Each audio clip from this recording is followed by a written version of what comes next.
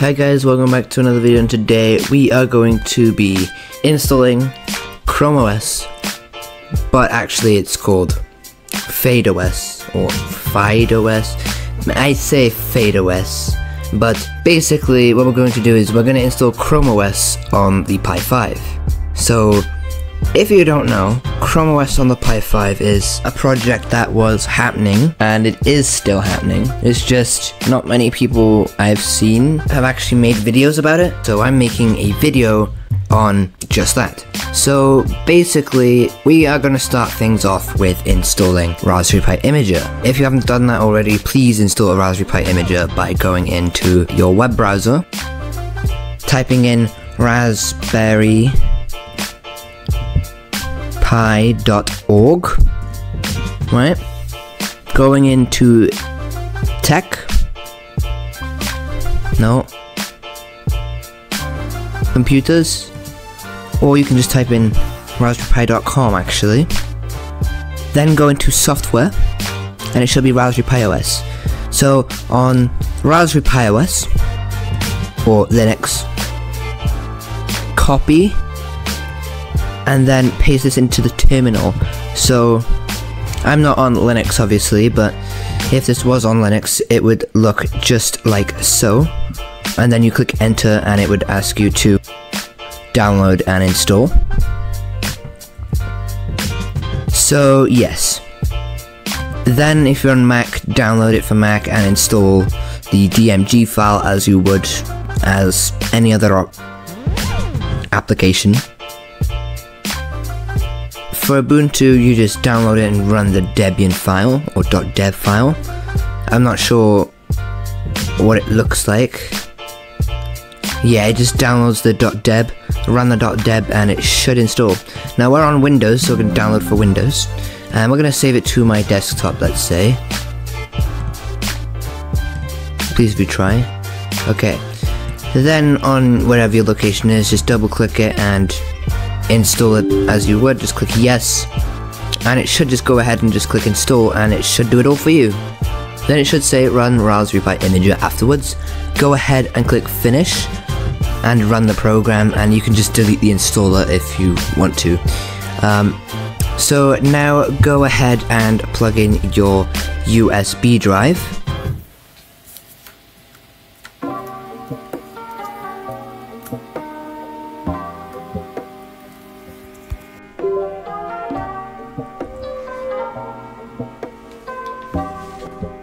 It should now be plugged in. As you can see, uh, we have our USB drive. I mean, you can use a micro SD card, but it's probably fast to use a USB drive or NVMe drive or even just an SSD as it is. So then uh, make sure you know what drive letter it is. So mine is boot FSY, but I'm just going to quickly erase it by using choose OS and erase. Choose storage, make sure it is mounted as Y, boot FS, and then yes. So now it should be given a completely different drive letter. Okay, so while we're waiting for that to erase, we're now going to download Fade OS. So type in Fade OS. Oops, spelling mistake. I can't really type fast as I've got my other keyboard right in front of me. So you're gonna go into Fade OS. I'm gonna full screen that. Uh, we're just going to then uh, click the download button and then go ahead and click S uh, Fade OS for SBC and it should be single board computer. Choose supported models. Now, this goes with, uh, this instruction actually goes with the Raspberry Pi 4 and 400 um, and the Raspberry Pi 5 itself. Self-explanatory. You can just go ahead and click the Raspberry Pi 5 and it's recommended to use this one or you can use either one of these but I'm just going to click this one and you would just download it as you would. Now I've got ISO files, which means that I can just just download it. So we're going to type in fade OS for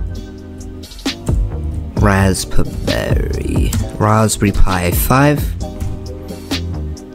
click save and now you can see it is downloading. Now there's one minute left so we are going to go ahead and jump on here and I'm gonna unplug my USB drive, actually no I don't need to. Um, you can see my USB drive is mounted as D so what we're going to do is click choose device and going to click Raspberry Pi 5. Going to choose OS. We're to do that in a minute. But before then, uh, you need to make sure that all data on your USB drive has been um, either backed up on another USB drive. It will erase everything on that drive and we're going to go ahead and click choose OS. Now as you can see, my download has, a, has just finished, so we're just going to close out of the window, uh, out of uh, your web browser, and choose device, going to go ahead and choose Raspberry Pi 5 again. Operating system, you're going to go ahead and click use custom, and you're going to use your Raspberry Pi 5.img.exe. Now you're going to choose the storage, and you're going to choose the one that's mounted as D, as for me, as you know, it's mounted as D. So we're gonna go ahead and click that, and click next. Uh, now I'm just gonna click no, as obviously I have previously saved configurations on here, which I use for configure the other video that I was making at the time. And I'm gonna go ahead and click yes, which will now completely erase everything. So we're now going to wait until that finishes.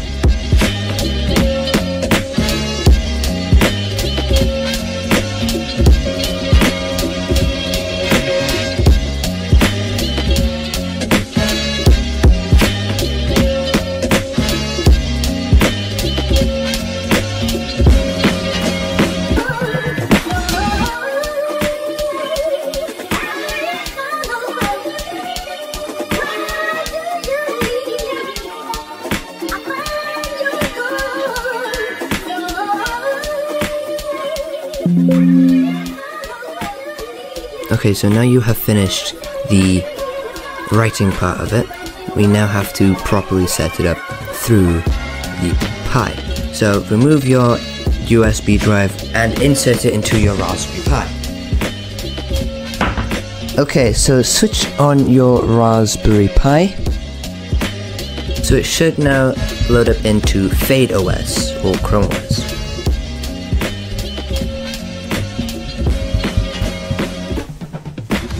Make sure you plug in all your peripherals, otherwise you won't be able to move anything or set up the system.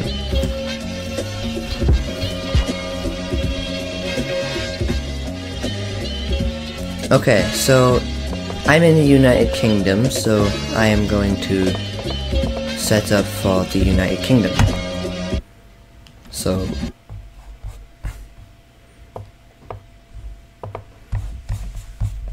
Okay, never mind. Oh.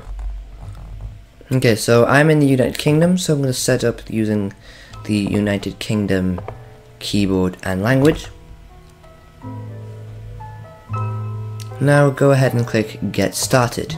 Now here is where you're going to connect your internet and I'm going to blur out the information on the screen for obvious reasons but if you have ethernet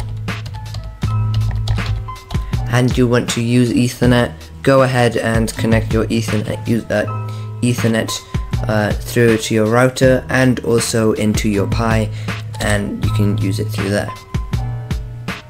So now it's connected and you are loading into here. You're loading into your account setup page. So just click accept and continue. You can either use a Fade OS account or you can use a Google account, but I'm going to use a local account for a temporary reason and it will ask you to uh, continue using an online account or use a local account. Now you're just going to type in your username, which mine is Chaz underscore bun, and then your password which can be absolutely anything you want it doesn't really matter here as you know, you don't really need a password, but I'm going to set up a password as I want to. Okay, so underscore does not actually work for the account setup page. Okay, we're going to skip choosing a pin as I don't really want to, and I'm going to make the system screen a lot larger as I prefer. And we're going to use dark theme instead of auto, and we're just going to click this off. So we're going to get started and as you can see explore what's new on your FadeOS device. You can skip that if you want and it just opens up Chromium which is Chrome but open source. And as you can see we have what's new on here. Ooh, I gotta change some settings here. So we are going to pin to shelf. And we're going to open up the settings application. Now I'm going to go into device mouse and I'm going to set my cursor speed all the way as I don't know why but I just like it. And we're going to do controlled um, controlled scrolling as my scrolling on here is very fast we're gonna just personalize this to make it you know however you want to make it look like so you can just change the wallpaper as you would with Chrome OS and if you don't know what Chrome OS is, it's uh, Google's operating system that they use for schools or workplaces that you know are just low, super low powered.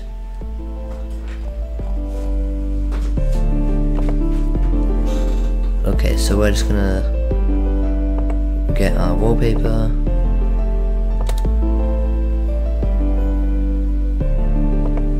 And you can change your accent color to make it your custom theme. Okay, so now that we've themed it, we are going to set up Android to be able to actually get um, Android apps working on here. And we're also going to set up Google Play Store, so of course you can use the Google Play Store as you would with a Chromebook.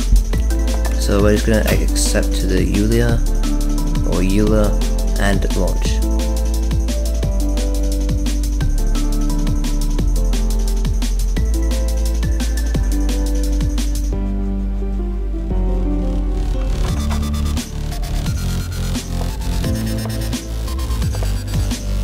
So, yes, um, drivers have been updated recently with FadeOS in this new release. So, instead of it on OpenFade where it was glitching a lot when you opened up the start menu, it then doesn't have that glitching anymore. Okay, so here we are with Android, um, loaded up on Chrome OS we can now set up the Google Play Store by going in configure Open GApps click add and it should start uh, then you just add app and it should start downloading and installing and boom open the app. And of course just accept here. I mean I don't think you need to really read this as there's it's just open source really now go ahead and click next and we're going to just go ahead and install and click next. Now it will ask this will configure uh, Open GApps to your FadeOS device. Just go ahead and click install and click OK. Now you're going to go ahead and wait this out. It will be faster on a USB drive or an SSD. So if you're on a micro SD card, bear in mind this is going to be slow.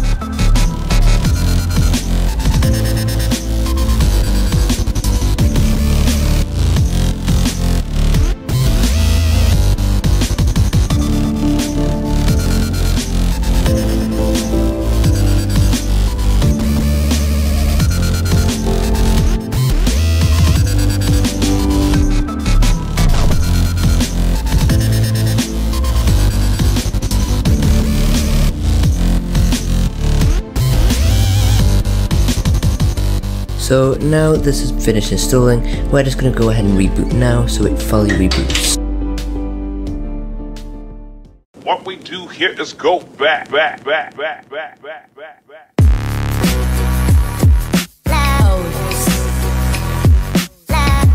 So now you can go ahead and log in as you would on a regular Chromebook or a Chromebox as it should say as this identifies as a Chromebox.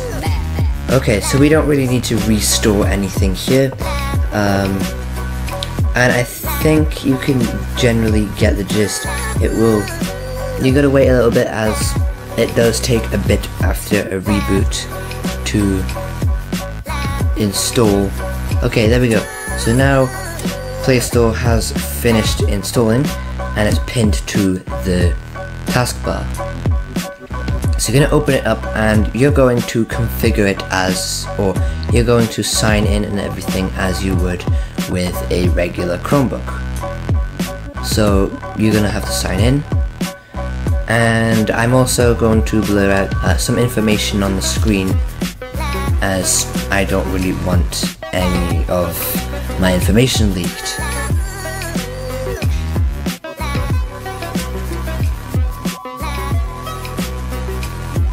So it's going to go and check info. And as you can see there are notifications going through. And you're going to type in your Google email. So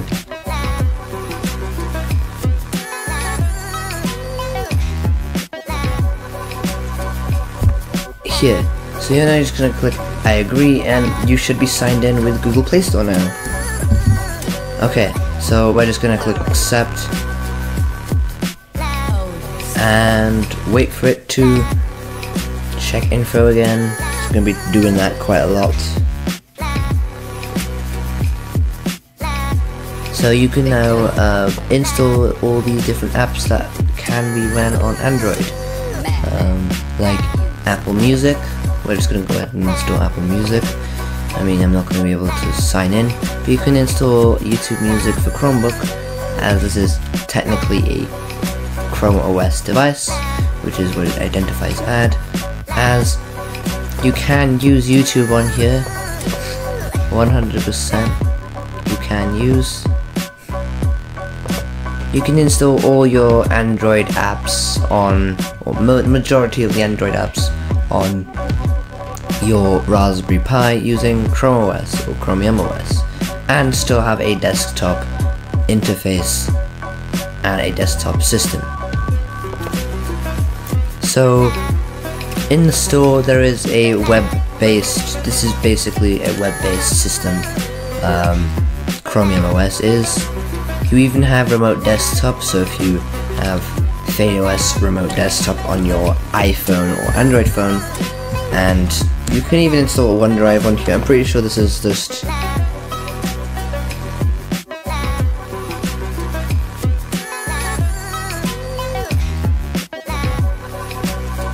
So you can install any of your OneDrives to FadeOS, which is really nice.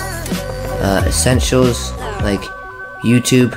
This is literally just a a web app, so it just goes straight into here. And yes, please like and subscribe and share in the comments down below on what you would like to see in my future videos. This has been a real fun experience for me to just experiment with Android itself uh, on Chrome OS and even just generally run Chrome OS on the Pi as it is